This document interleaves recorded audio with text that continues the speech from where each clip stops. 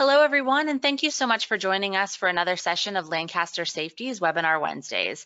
My name is Emily, and I am an OSHA online training lead with Lancaster Safety. I'm joined today by Kara and Giselle, who work in our scheduling and recruiting departments. We all participate in our company's safety committee and we're excited to get into today's discussion. So I'd like to start off today's webinar simply by asking you to think about your company's safety committee. Do you have an established committee? Are there set members and roles? Do you think it's easy or difficult to recruit members to participate on the committee? Is it successful in meeting its goals? So whether you're at the beginning stages of establishing a safety committee or you've had a safety committee in place for years, you're in the right place. This webinar will look at the function and role of a safety committee and provide you with the information you need to make sure that your committee is meaningful and successful. Thank you, Emily. Today's primary goal is to take a look at how a safety committee can be meaningful and successful, and also give you the information you need to really improve your safety committee's meetings, or at least start one. A safety committee is one of the important elements in creating a great safety culture, which is why we wanted to take a deeper look into effective safety committees. Today, we'll be reviewing the benefits of having a safety committee, why your safety committee might be failing, tips for a successful safety committee, mistakes to avoid, how to get our employees involved, and how to make your meetings interactive, fun, and successful. All right, so let's start off with a little Insta safety quiz here. So the question is, do you currently have a safety committee in place? You can either choose A, yes, but we would like it to be more effective, B, no, but we would like more information on starting one, or C, I'm not sure if we have one or not. So you can put your answer in the chat box below. This was a tricky one. There's no right or wrong answer here, but we wanted to get more information about our audience today. As the answers are coming in, it looks like most people do have a safety committee in place, but would like help to make it more effective. It's great to see that so many of you have an established committee, and if you're still working on forming one, you're in the right place. Let's jump in and start discussing the benefits of having a safety committee. To start, why do you want to have a safety committee? There's a significant positive impact on the health and safety of employees and the safety culture of the organization if you regularly meet to discuss safety. It shows the importance of safety and how seriously your company is taking it. It also allows employees from any level to be involved and give their input. Last but not least, an effective safety committee can save your company money through reduced workers' comp insurance costs, fewer lost workdays, and an increased productivity due to higher employee morale. Yeah, and when I was preparing this presentation, Kara, I really gave a lot of thought to my work experience over the years and how safety has had an impact on how happy I was at work. And as I look back at all that through working at major retailers and comparing their safety attitude compared to LSCI, the difference was really astounding. We take safety seriously here at LSCI, from our founder all the way to our most recent employee, we all want to make sure that employees go home safely every day.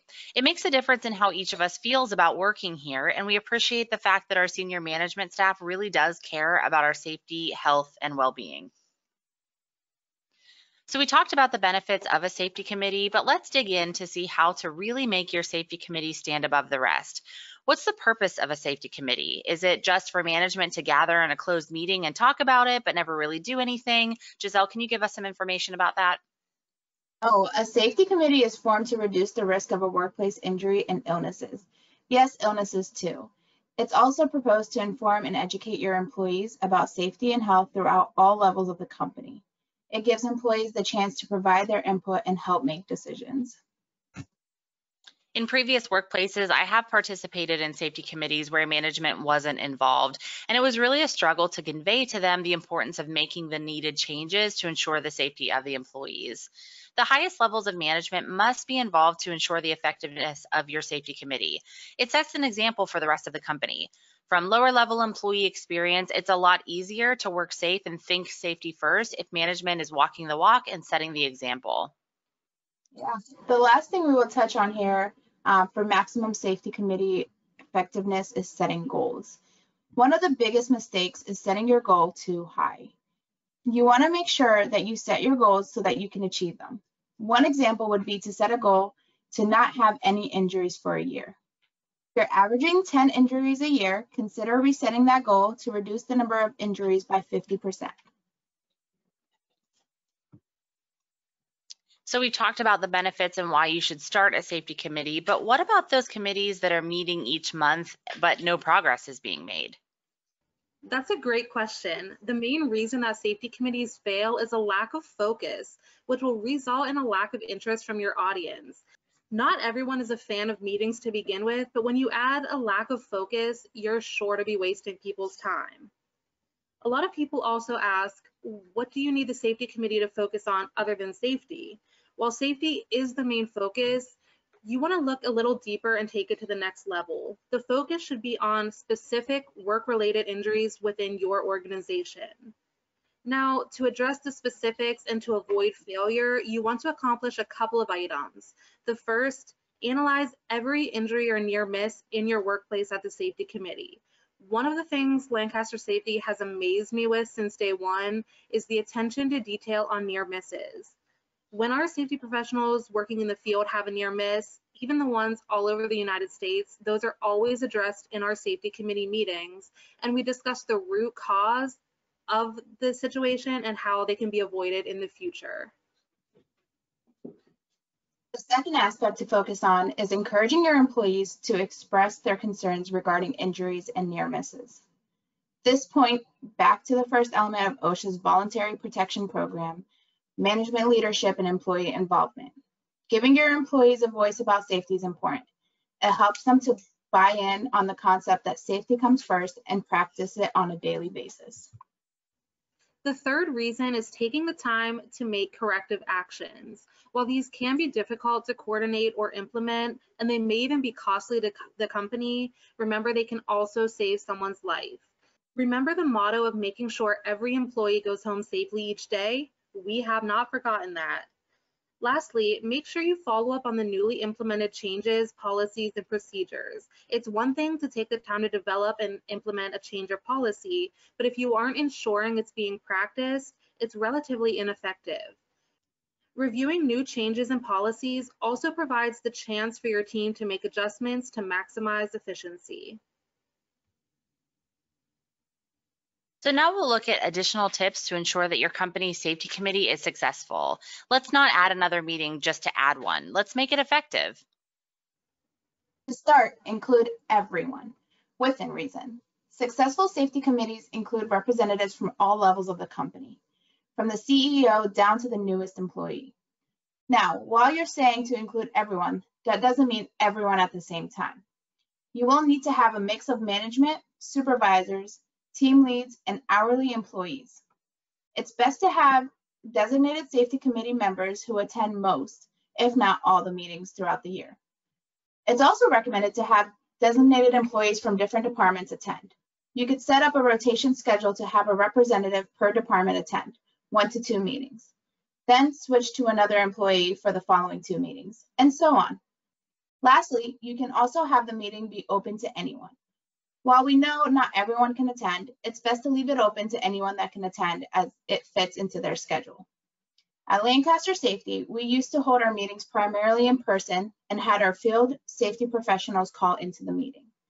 Since we have switched to a more hybrid schedule, our meetings are now held via Zoom and anyone in the company can attend in addition to the safety committee members and designated employees.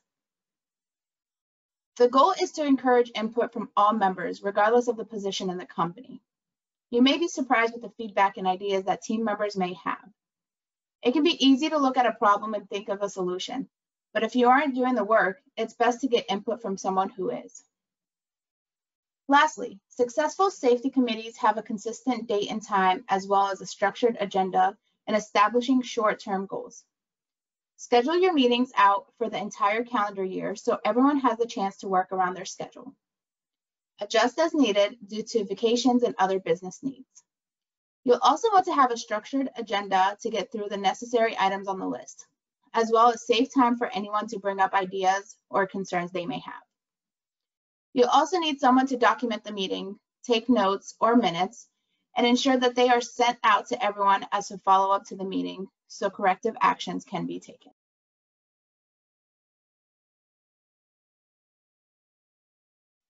Next, we'll look at some of the most common mistakes that can hinder a safety committee's success. Lack of communication is one of the biggest mistakes that can lead to really big problems.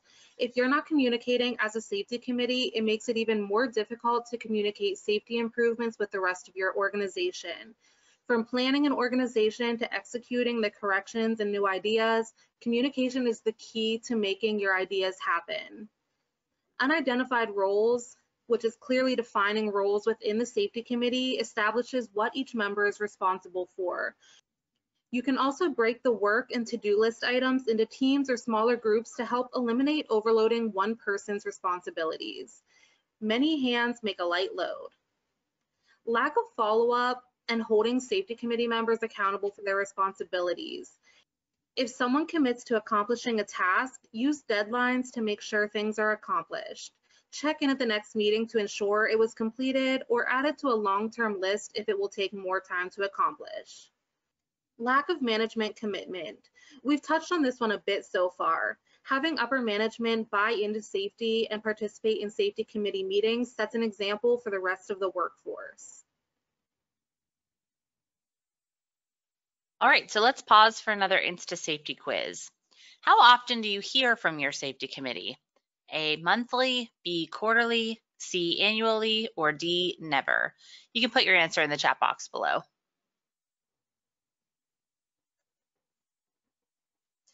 The answer to this one is flexible, but a strong suggestion. Ideally, safety committees should meet on a monthly basis. This gives the committee ample time to resolve items from the previous month and to gather necessary information for the upcoming meeting. There also needs to be communication between the committee member and non-member of your organization to share the committee's happenings, safety improvements that have been implemented and may affect job tasks or change that the committee has made. Monthly or quarterly communication with non-members is also a good reminder that the committee is there serving a purpose and encourage employees to bring safety concerns to attention and resolution. Yeah, and keep in mind, while we said the suggestion of monthly meetings is flexible, there are some state plans that have safety committee requirements based on the organization size, high risk industry and or incident rates. And some states also offer discounts on insurance premiums or reduced workers' comp insurance costs if your company's committee meets certain requirements. All right, so let's move on here. Let's discuss why it's important to know your audience. Yeah, so tailoring your committee's discussions to the personnel attending will help make a stronger impact in relaying the information. This is really similar to preparing for a webinar presentation. We've all taken the time to really think about who we are presenting this material to.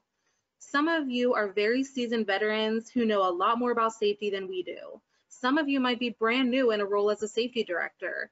There are some attendees today who are long-term clients of LSCI, some are newer clients of LSCI, and some are not yet clients. Some of you work in construction while others are in a general industry environment.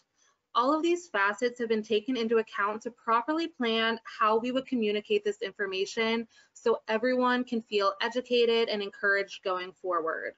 The same thoughts can be used when approaching your safety committee. Do you have shy or quiet people?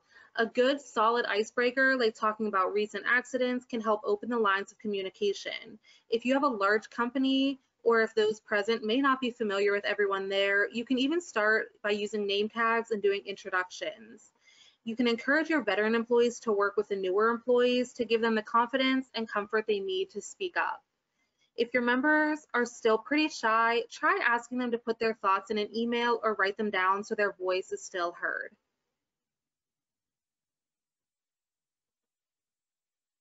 Now, some of you may be thinking, well, I really wish I had a shy or quiet group. Mine is disruptive and challenges everything. And that's okay. We can help you overcome those challenges. These challenging moments allow you to work directly with someone and also engage the rest of the group to discuss issues professionally. Encourage employees to speak freely and confidently. Let them know that their opinions shared professionally will be heard and factored into decision making. This may not mean that their idea or solution will be chosen, but it does allow their voice to be heard. If their idea isn't chosen, make sure to explain why so they understand the situation was assessed and their idea was taken into consideration.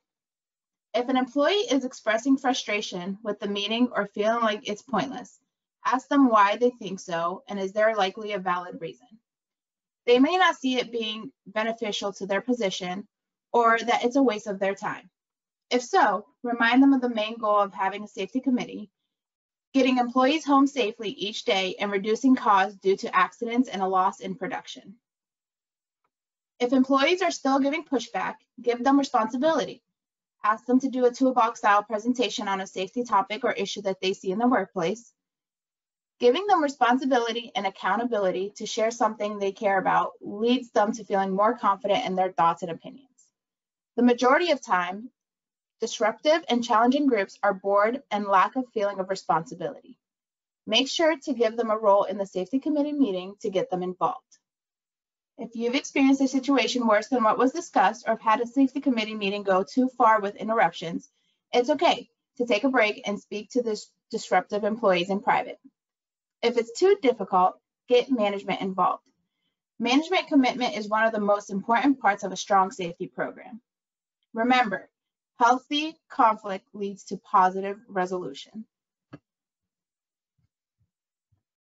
If you've ever hosted a meeting, it's very easy to get frustrated when you see people yawning, resting their head, or using their phones. Our first suggestion before you even start the meeting is to ask people to put their phones away or on vibrate so if there is an emergency call, it doesn't distract everyone. If people appear to be zoning off during the meeting, try changing your approach and get your audience to redirect their attention. Here's an example. Say you're presenting a talk on workplace violence, which you are mostly reading off a page you printed off the internet. Reading anything to a group can get really boring really fast. Instead, you can get the group involved by asking questions that are specific to your workplace.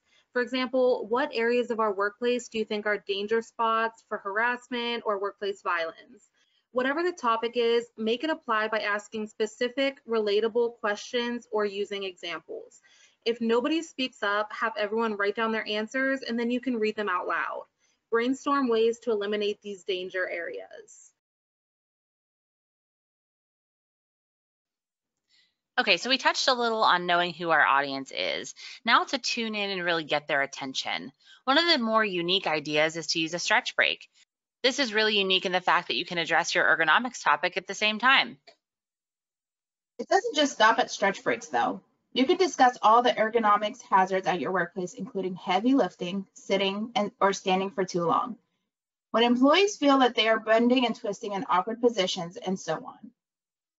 We found this to be a really successful topic because most of us do experience muscle soreness during the work week. There are toolbox talks and fact sheets available for this in our safety management portal. If you are a current client of Lancaster Safety, check the info out there. If you aren't a client, reach out and we can provide you with some resources.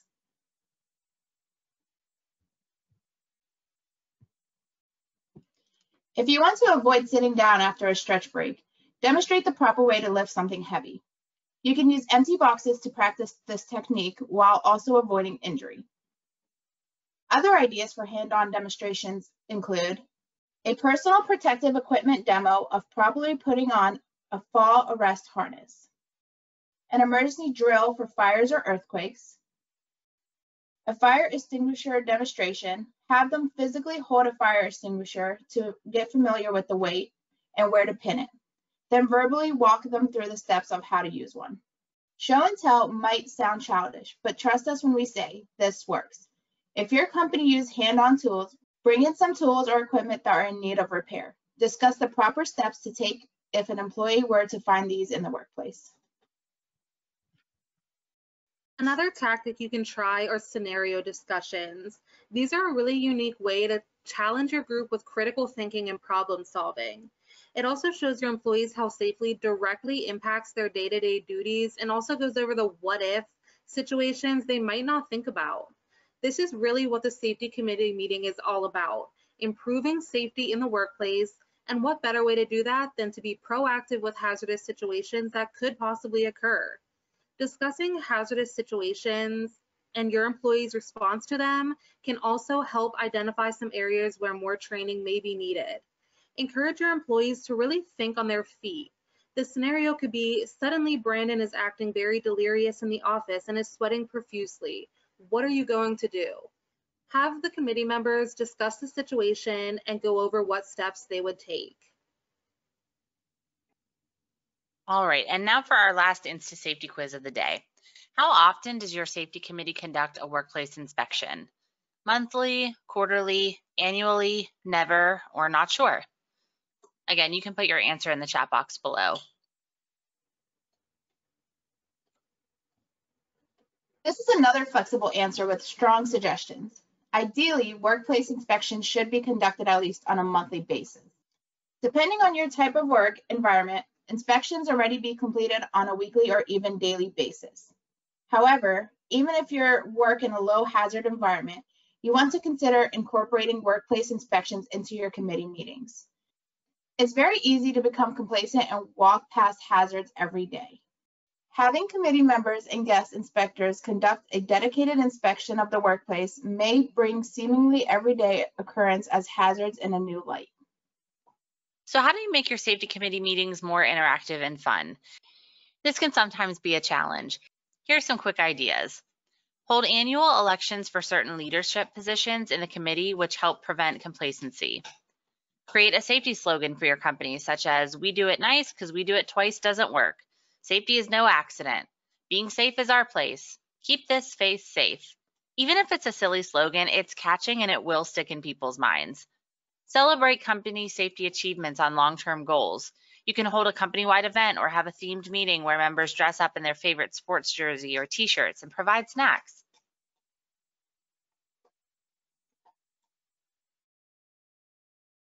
We've discussed a lot today and applaud you for sitting in on this presentation. You are choosing to be a safety innovator working to further your company's safety culture. We'll share a big secret with you that only the best leaders know. You have to make people feel like you care before they will care about what you're saying. This is a necessity in order to effectively get your point across. Remember to be exciting, encouraging, and keep your audience involved. Success takes time and hard work, but it starts with leadership. This is a screenshot taken from our website, and we cannot stress this enough. Safety is a journey. It does not happen overnight. Keep learning and working hard on your company's safety program. If you've been listening in and thinking, well, I don't have a formalized safety committee, how do I get one? We can help. Some states even offer insurance discounts for having a formalized safety committee. Call us today at oh 888-403-6026 for more information. So if you're a full service client of ours or you're not but are interested, um, just a few things to point out that we have available for you in our safety management portal that you can use for safety committee discussions. We have a lot of posters on various topics. We have toolbox talks. Each month we share our safety committee discussion. So if you're not even sure where to start, you can just grab that, print it out and take it to your meeting. Um, we have all different kinds of checklists available um, and our past webinars are available as well. So um, all of our resources are available in our safety management portal. And like I said, that is for full service clients. And if you're not a full service client but want some more information, definitely give us a call. Well, again, thank you so much for taking the time to listen in today. As always, if you have any further questions, just give us a call at 888-403-6026 and we'll be happy to help you. Also, make sure you're following us on social media for more news updates and safety information, or you can provide us with feedback on either Yelp, Google, or Facebook. We really do appreciate your time and we hope you'll take advantage of our monthly safety and health webinars. Everyone is always invited to attend and they're always free. Just visit our website or click the link on your screen for more information. Thank you so much and have a safe day.